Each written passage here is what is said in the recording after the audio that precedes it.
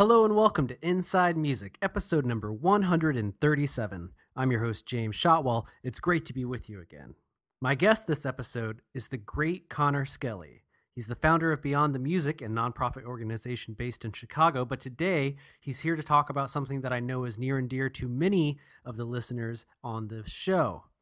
Connor has done the impossible. Well, not the impossible, the unthinkable. Not the unthinkable. He's done that thing that we all dream about doing, but so many of us never get up the nerve to do, and that is he quit his job.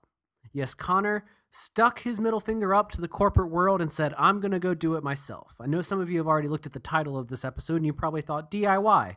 We're going to discuss artists doing it without a label, but that's not what we're here to discuss. Connor is a music professional who decided to step outside the corporate world and go into business on his own. He's putting all of his trust, all of his hope, all of his aspirations behind himself because he believes in himself and he believes in what he wants to do in this life. Connor has a big history working in music, but right now he's doing a little bit of everything as a digital consultant. He just left his job a couple of weeks ago and already has his first three clients, a goal that he actually didn't think he would achieve until sometime in January. In fact, when we recorded this episode, I had to let Connor go because a fourth potential client was calling him to hopefully secure their deal. Connor is going to tell us about what it took to finally walk away from his job, his new role, and the challenges that you face. Because I think even if you don't want to do what Connor is doing right now, the challenges that one faces in trying to go into business for themselves are largely the same. You got to pick a name. You have to know how to price yourself. You know how to not oversell yourself, but also how to not undersell yourself. You also have to just have an idea, or I should say, an open mind about what the marketplace is like. You might want to be a music professional who helps bands get ahead through digital consulting and digital strategy, but in reality, if you have those skills, they can be applied to many industries. You could help banks, you could help coffee shops, you could help movie theaters. The fact is being open minded to the possibilities and the limitless potential that you possess. I think we all like to believe that we believe in ourselves, but Connor is somebody who's actually putting his money and his livelihood where his mouth is. And today he's going to tell us how we can all learn a little bit from him. Second, Connor is also going to talk about something that's very near and dear to my heart, which is music conferences. Not long ago, there were three major conferences in America. There was CMJ, in New York City, South by Southwest in Austin, Texas, and then Launch Music Conference in Lancaster, Pennsylvania. Now, there are others, and you might have heard of some of them. You may have even attended some of them.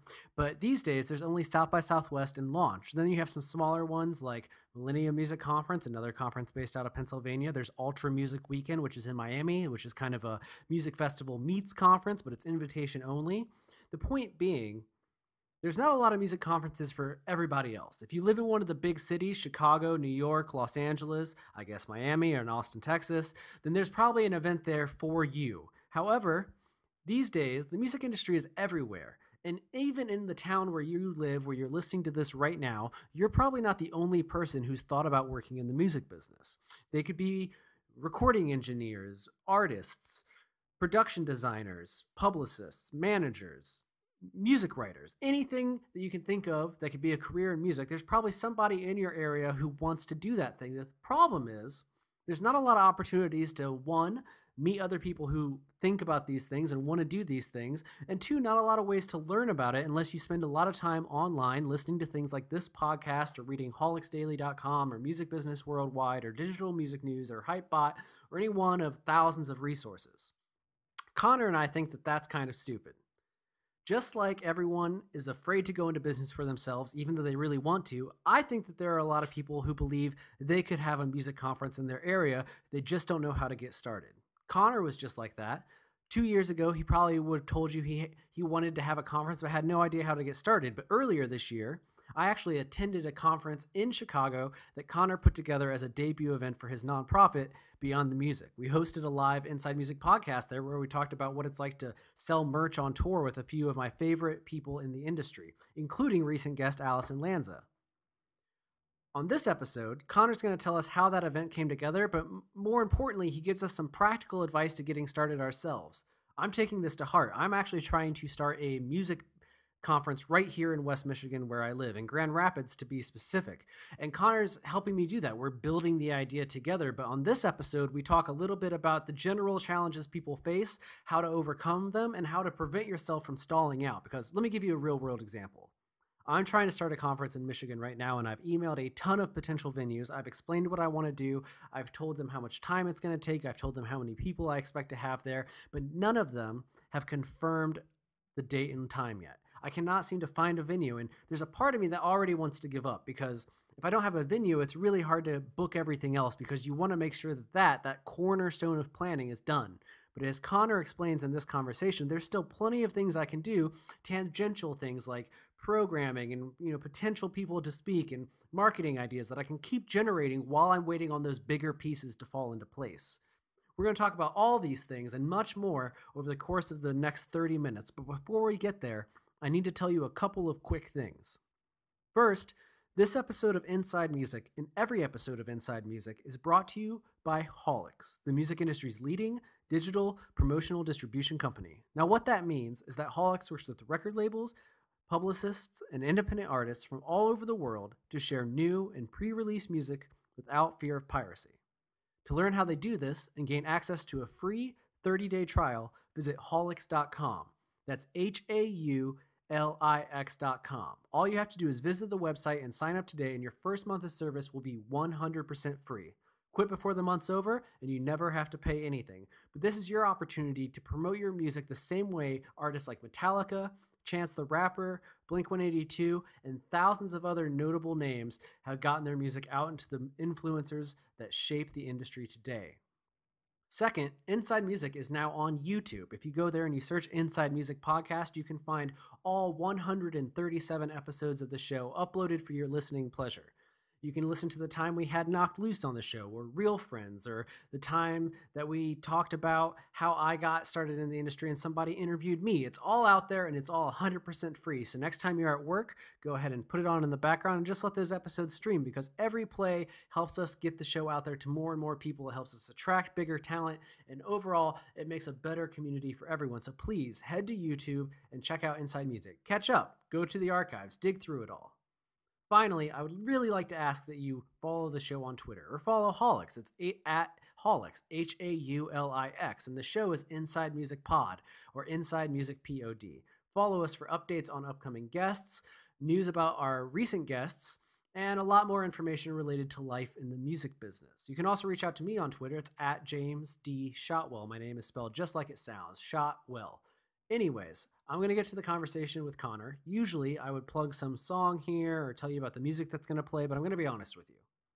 After we started putting all the episodes of Inside Music onto YouTube, we hit a huge problem. It's really hard to monetize videos when you're using songs that you don't own the copyrights for. And as you know, we've had a lot of artists on the so- show who suggest songs for us to use, and that's awesome.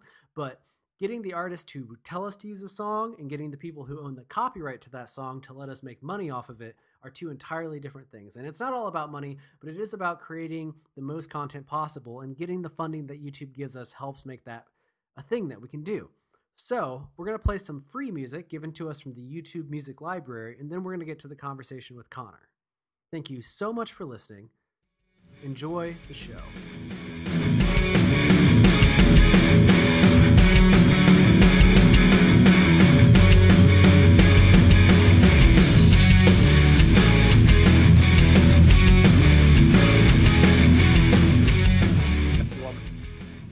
So, what are you up to today? Um, a lot actually. Today's a particularly busy day for me. Um, I got a few networking calls, um, a meeting downtown, um, and a uh, a networking kind of event tonight, um, and just a bunch of like client work and stuff. So back to back, starting starting in like 35 minutes. Well, I'm glad that you could fit this in. Yeah, you, you caught you caught me uh, you caught me early, which is good. Well, I've learned that if I want to do a podcast with somebody that doesn't do like a ton of podcasts or interviews, if I just am like, "Hey, can we hop on the phone later?" They say yes, and then I kind of pounce it on them. They're more likely to agree because if I'm like, "Hey, I want to get you on the podcast," people will be like, "Eh." It, I don't know why people get real weird about it, but if I kind of spring it on them, it tends to work out more in my favor. And you're always game anyways, but it, it worked out. Yeah, yeah, I'm I'm always down for it, but uh, I like that tactic. I'll have to remember that. I have friends that work in music that have never been on the show, and they just keep stringing me along. I've been like, the show's been around for like three years, and they're like, "Yeah, we'll get to it." And I'm like, "What? We spend time together every week. It's the exact same thing, except I hit record." Right. Yeah, yeah. So next time, next time you hang with them, you know, just have have your phone in your in your lap, and just record it, and then tell them afterward. Well, okay. Okay, I recorded this Yeah, I've tried that one. Um, I've tried to get my buddy Ben Howell, a photographer here in the industry, to be on the show several times, and we were the, we were on a long car ride once. We drove out to Denver from Michigan, which is like 16 hours, and I was like, this would be the perfect opportunity to record a podcast together. And he was like, I'm not really feeling it. Blah blah blah blah blah. And then after a little while, he rolled down his window, so it got real loud in the car. And then he like really opened up to me about like his career and life and stuff. And then when he was done, he rolled the window back up, and I was like, I see what you're doing. Like he was, He knew. yeah, Uh, he was thinking he was he was already ahead of me. So, you know.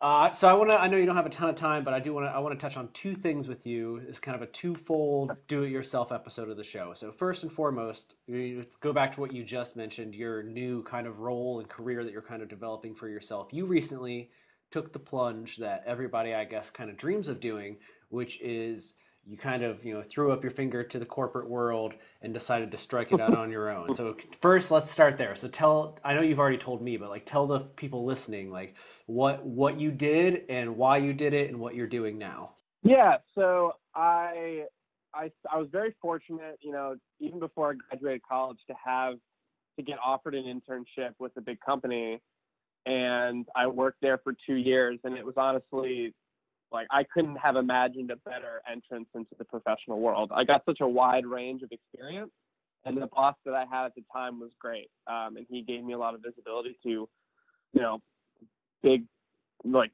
big boy business stuff like you know working with people from up top um but then after you know i worked there for two years and i worked for this other company and it was just like i'm sitting in this place for like eight hours nine hours a day and i just i can't take it anymore. Um you know and for some people like they love it. They love the consistency. They love they love that. Um but it just it prevented me from working on a lot of the stuff that I want to work on and playing around in different industries and working with different kinds of people. So uh, I had the idea for a few months and I was like, well, let me just see if I can, because I'm, you know, I did want to leave, but I still wanted to kind of build some sort of infrastructure before I left. Um, so I wouldn't be completely broke and uh, scrambling terribly.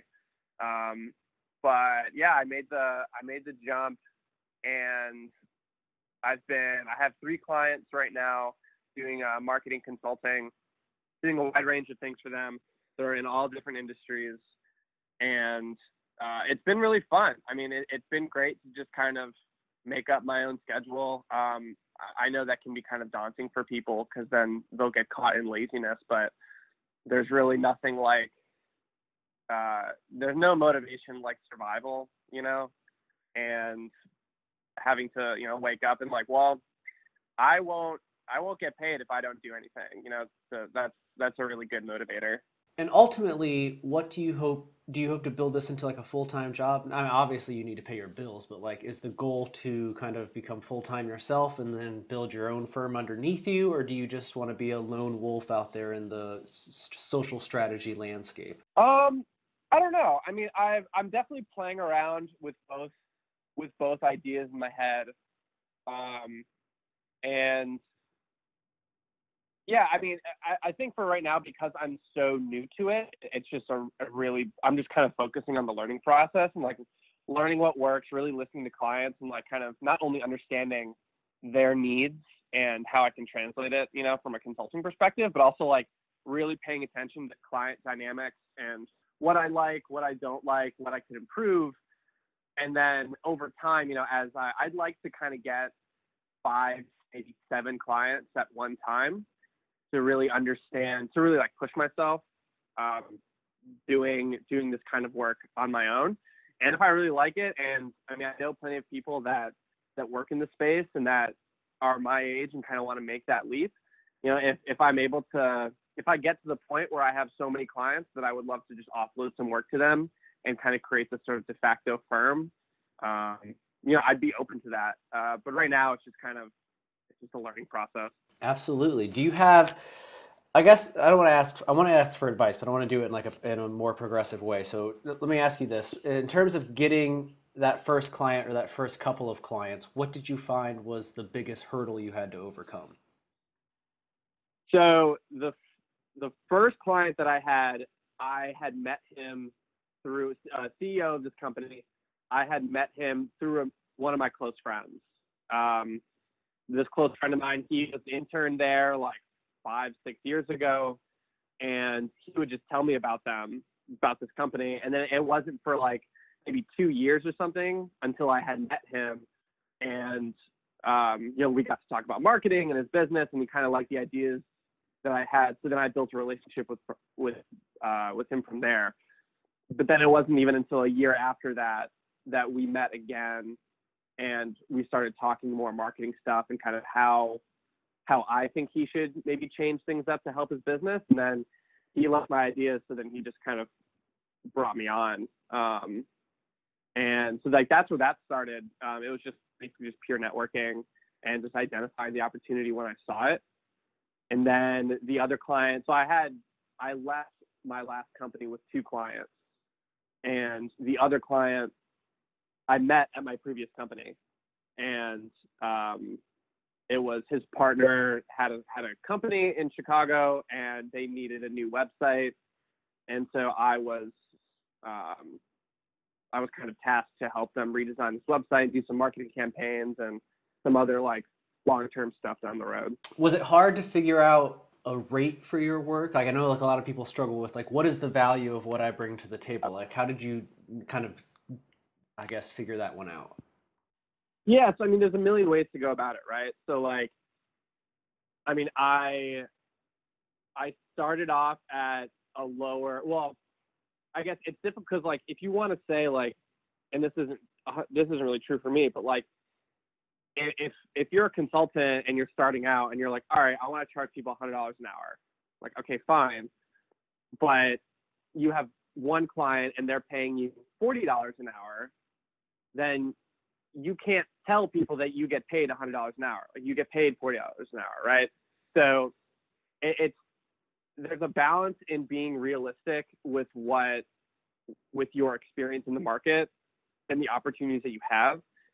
So well, while also not compromising your work. So one way you can go about doing it is, and I've done kind of a variety of these things depending on the client, and it is always kind of depending on the client and their needs and their budget and all that, is I would maybe start at a lower hourly rate, set the expectation that yes, this is typically lower, uh, but kind of prove yourself in six weeks, eight weeks, or whatever, um, and then keep that conversation going to bump it up from there. Another thing you could do is like project based. So like if a company wants one marketing asset or one thing, charge them like a flat rate. Uh, it's important to kind of get if it's like a, a, larger project, get you know a 50% deposit up front. That's always super helpful. And um, you know you can kind of get that flat rate. Ultimately, the goal is to kind of get into a monthly retainer with clients. And if there's specialty projects there, you can do a flat rate or an hourly rate on top of that. Um, but right now, I'm just kind of in the phase where it's like I'm taking in whatever I can. And I'm, I mean, I'm even looking for people if they're like curious and they're just like, hey, I want you to spend five hours just kind of looking at my stuff. Like, I can't really pay you. Um, but I'd like to kind of see what your thoughts are and we can go from there. I mean, five hours or three hours or whatever isn't going to, you know, be a detriment to to anyone really. I mean, if you're offering that value up front. So, I mean, there's a there's a long long-winded way of saying like there's a million ways to go about doing it. Um, it's just kind of like what what's the best way that you can offer value to people without you know putting yourself into the ground. Did I lose you on that one? Oh, I'm absolutely here, man. Uh, sorry about that. Sometimes I forget to unmute my microphone, but that was really great advice. I know I can. Yeah, yeah. It's, Go ahead. yeah, and I mean, I, I just I just spoken to someone recently on uh, you know they're they've been doing their own consulting thing for a while, and um, just kind of getting a lot, got a lot of good feedback on, you know, ex, like not compromising in your pricing, um, but you know, be be willing to negotiate a bit more. Um, let let the client deny you. Don't. I think the biggest takeaway that I have was put out what you want to put out. You know, offer what what you think is good, and where you can cover yourself, and let the client say no. Don't say no for yourself beforehand. Don't be like, oh, they can't afford that, or oh, I'm charging too much. Like, let them say no, because what could also happen is that you you can underprice yourself out of work because it's kind of a, a, a thing that happens in the back of our head where it's like, oh, if I'm doing a website and one person's charging seven hundred dollars and another person is charging ten thousand dollars, well, that's a huge range. But I'm gonna assume that the person doing seven hundred dollars isn't gonna do that great of a job compared to the ten thousand dollar person. So I could probably bring that ten thousand dollar person down uh, as opposed to taking the underpriced work. So, which is something that like I didn't really think about, like kind of underpricing yourself out of out of a job. Um, is something that apparently just kind of it's pretty common for for people doing their own thing.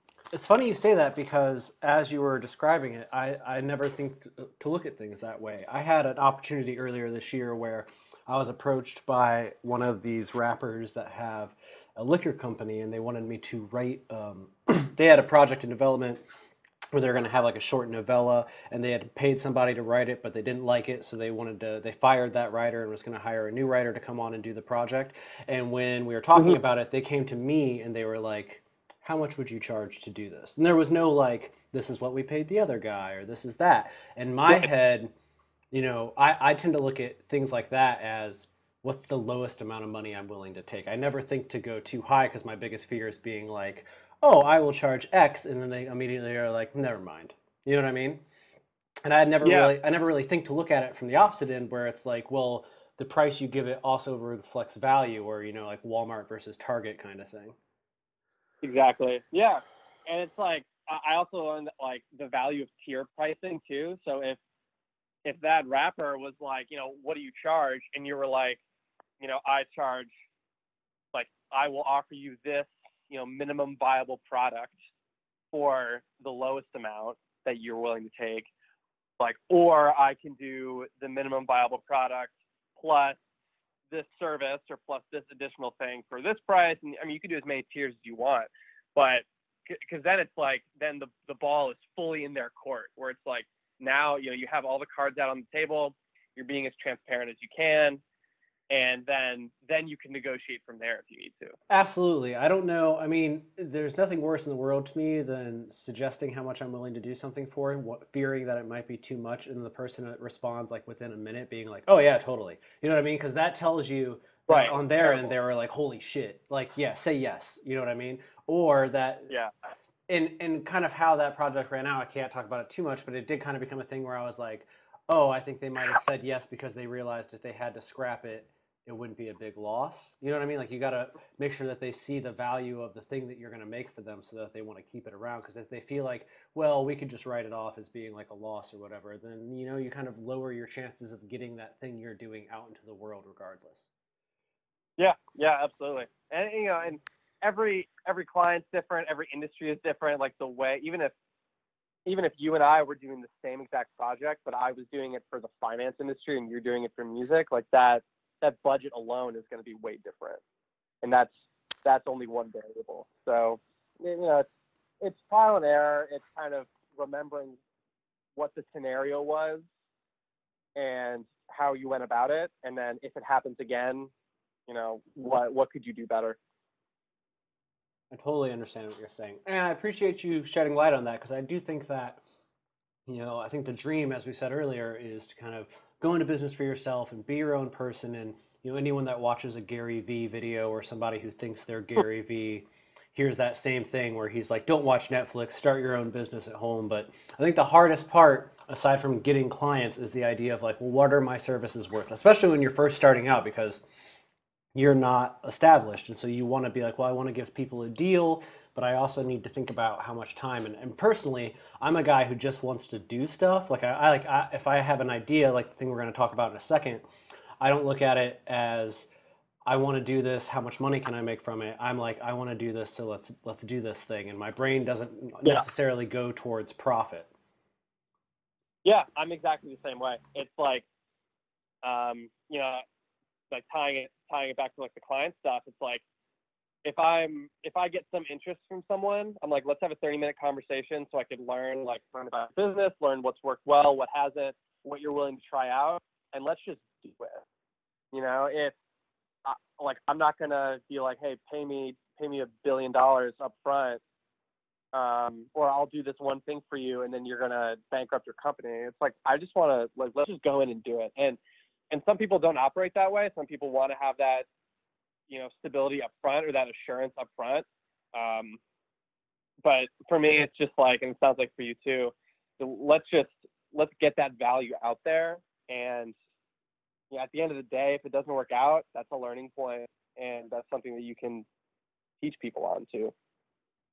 Absolutely, and, and and part of it, th- me thinks that it's like the music industry mindset of like, well, I have to offer to do it for free or cheap as possible, or else they won't let me do it. But the problem is, is then one day you're like, oh, I'm like over thirty and I have bills, like I have to, Right. I, I have to be making money, and I think that that's like just to bring it back to music. I think that that's what ends up breaking a lot of people in the music industry that maybe at 21, 22, 23 are like. I'm going to do this and I'm going to do it whatever it takes, whatever. And then by the time you get to 30, like the rest of your life is starting to become established and you have to be like, you have to take into account, you know, what life costs and like what kind of life you wish to have. And sometimes, you know, finding enough of an argument to justify people spending more money on the thing that you want to do in this industry specifically is uh, it's, it's a hill that a lot of people seem to not get over, you know? Yeah, it's tough. I mean, it's. I think a lot of it, it's a culture issue. You know, like there's just a big. You know, I'm just going to talk to the United States here. I mean, it's there's a huge stigma just around art in general. You know, people don't want to pay for it because it's all up there. You know, this like, um, this whole.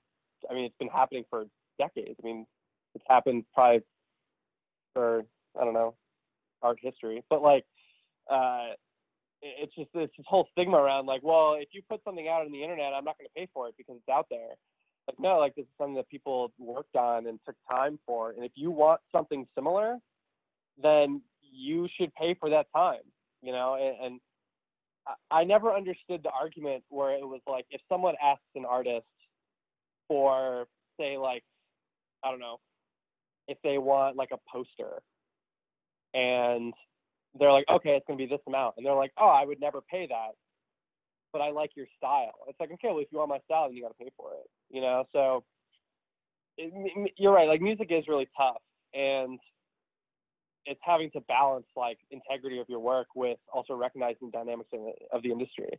And kind of the way that I would maybe mitigate that whole thing is that there's just like so much opportunity to go in a million different directions in the music industry where like you could you know you don't have to just do stuff for artists right like you can do something for a studio or you can do something for a label um or do something for like even a content creator that's related to music so there's there's just a, there's just a lot Absolutely. Now, I only have you for like 10 more minutes, so we have to move fast and get to our next topic. yeah good All right. So, with this in mind, something that you and I have been talking about behind the scenes that I'm just, I, I, I believe in the idea that if you put it into the world, then it has a better chance of actually coming together. So, if we say we're going to do something or that Yep. we're working on something, we're going to actualize it right now.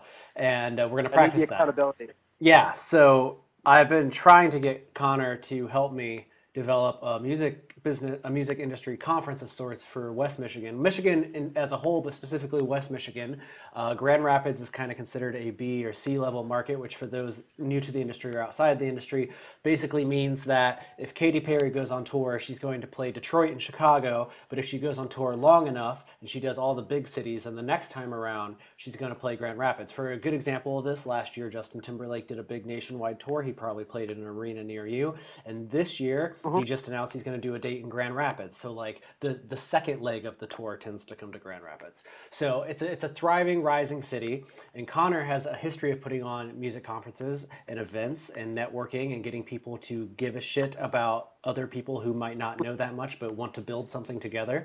And so with all this in mind, this idea of doing it yourself and not, you know, not getting yourself down because you don't know what you're doing and stuff, I want to kind of use the next couple of minutes to inspire other people to hopefully do the same because I'd like to see a fresh wave of conferences because there's a few that are kind of pillars of the industry. You have Launch Music Conference, you have South by Southwest, there used to be a CMJ in New York City, but there's a whole bunch of states filled with a whole bunch of dreamers that don't have a big gathering point. So, Connor, if someone wants to put on a music event, give me like a very brief synopsis of like what you would tell them to encourage them to give it a shot. Well, first, like, what do you want to accomplish? Like, if you want, what do you want to accomplish and who do you want to target? So, if you want let me just put an example of what I've done. So like the the industry workshop that I did for Beyond the Music last May, I wanted to um, show anyone that was interested. And again, that's not a specific audience. I would have next time around. I want to get more specific and build out actual personas of people that would be interested.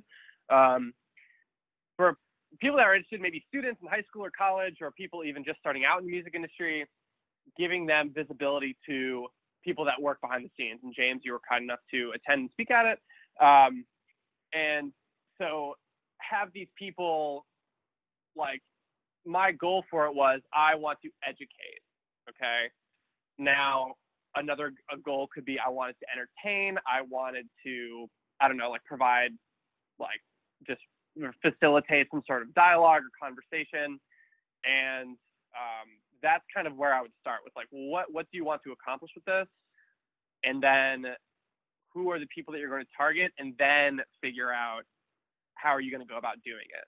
Um, you know, doing with like programming of like different workshops and stuff. So having something like, you know, how to um, how to create an elevator pitch for yourself for music industry, or do stuff for like photography or like community building. Um, you know, have, create programming around that, and then you know do tactical things like what's the date, what's the venue, what date works for the venue, um, do you need tables, do you need chairs, lighting, all that type of stuff. Ticket sales, how much your ticket's going to be, ticket tiers. There's, there's a million things my big thing right now is not getting hung up on stuff that's not getting done. I uh, I'm trying to get this one in Michigan going, and I sent out a bunch of emails to venues, and then I kind of hit this roadblock of like, well, I haven't gotten a, no, I haven't gotten any further because I'm waiting on somebody else. So when you hit those hurdles, when you hit that that wall of like, I'm going to go A, B, C, D. If you hit a wall at A, what uh, is it? how, how, do we move on while waiting on those people? I mean, obviously, because I, I, feel like if I just stall out right now, it's completely possible. So, do you think, as an organizer, that it's good to, I guess, start thinking about some of the more tangential things? Like maybe I don't have a venue yet, but it's good to think about, you know, what what kind of what kind of things do we want to discuss, or who might be invited, or like how do I build without when I don't have some of those big pieces in place yet? Mm-hmm. Yeah, so I, I did this exact thing. Um, this is going to sound like super nerdy and very businessy, uh, but it's one of the few things that I learned from this, from one, I forget the name of the class, but the cl- class that I took at, uh, in college, where I, for the industry workshop, created a Gantt chart, G A N T T, and it's sort of like a waterfall approach to project management, where like, you know, like you said, like A, then B, then C but it's where A and B can overlap, or A and D can overlap, or any combination of those things. So it's like um, it's a timeline, and it's all the tasks that you need to accomplish, and then you can better map out what can be what needs to be done when, and then like when you can do things over other things, especially like while you're waiting for other stuff to get done. What else can you accomplish? It's a really good way to kind of visualize that and I should actually, James, I should send you the one that I had for the workshop just so you get an idea of what I'm thinking about. After a while, I kind of stopped touching it once once the thing was moving and I had all the pieces in place. But uh, it was super helpful for, for me to, you know, launch my first event. Absolutely, and I would appreciate that. And uh, we can mm-hmm. probably run something similar on on the Haulix Daily blog, haulixdaily.com, in the weeks ahead, just to give anyone else a primer as we head into the new year. That would make a great blog update. Anyways, uh, before I get going, I do want to ask you this in regards to people who are thinking about conferences. And I know that you know you said have a specific goal, and I think that having a goal is really good. But for you, when people are thinking about the person coming to the event, what do you think is the thing that attracts people the most? Is it having those big name speakers? Is it you know is it you know the cost what is what do you think is have you found to be like the biggest motivating factor in getting people to participate in especially new events that maybe don't have a history or any kind of authority quite yet um, for ones that don't really have authority i think a, a big driver would be getting like if you're somehow you know through your network or whatever maybe through you know shelling out um, some extra money to get a big speaker, um, that would get some attention. But I think what's most impactful, regardless of the if you're if it's your first event or your thousandth event, is that what is the value that you're offering to people?